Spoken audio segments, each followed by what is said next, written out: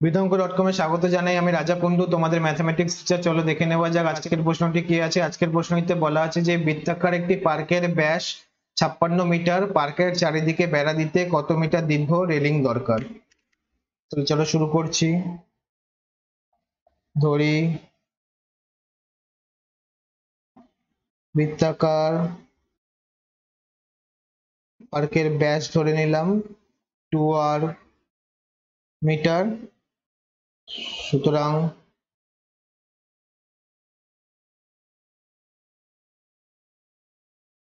পার্কের ব্যাসার্ধ ব্যাসের অর্ধেক, অর্থাৎ টু আর বাই টু মানে আর মিটার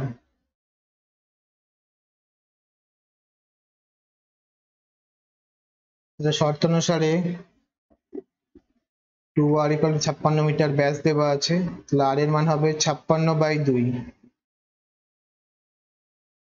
ছাপ্পান্ন বাই দুই মানে হচ্ছে আঠাশ টোয়েন্টি এইট পার্কটির ব্যাসার্ধ হলো টোয়েন্টি এইট মিটার সুতরাং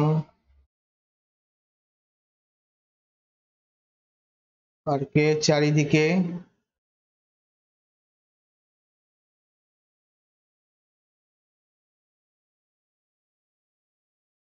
বেড়া দিতে, অর্থাৎ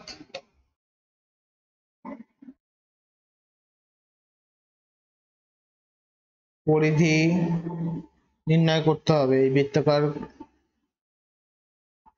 পার্কটির বৃত্তাকার পার্কটির পরিধি।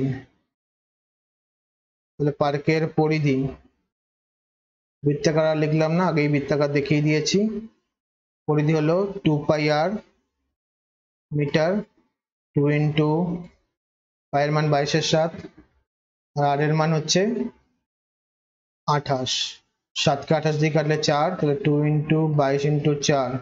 চার দুগুণে আট, বাইশ আটে একশো ছিয়াত্তর মিটার। তাহলে বৃত্তাকার পার্কের পরিধি হলো একশো ছিয়াত্তর মিটার, অর্থাৎ বৃত্তাকার পার্কের চারিদিকে বেড়া দিতে পরিধি নির্ণয় করতে হবে এবং পরিধি বেরিয়েছে একশো ছিয়াত্তর মিটার। এটাই ছিল আমাদের নির্ণয় উত্তর। থ্যাংক ইউ ফর ওয়াচিং বিদঙ্ক ডট কম অঙ্কের আরও প্রবলেম এবং সলিউশনের জন্য আমাদের ওয়েবসাইট অবশ্যই ব্রাউজ করো। Thank you